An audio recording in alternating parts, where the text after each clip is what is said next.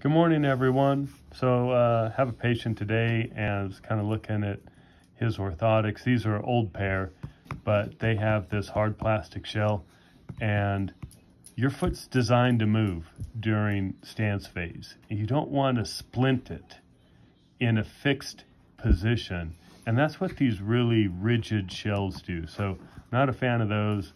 Um, so, it's got a rear foot correction, which uh, he does not have a rear foot varus, so I probably wouldn't put a rear foot correction on him. This is uh, not much, so probably not doing a whole lot either way.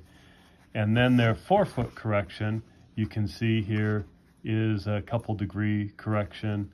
Uh, it is way proximal to the metatarsal heads. So this thing should be moved up here about two inches, except you've been to my course, you know this should be cut out. You never push up on the head of the first metatarsal. So that is kind of a synopsis of the things that are wrong with these older orthotics.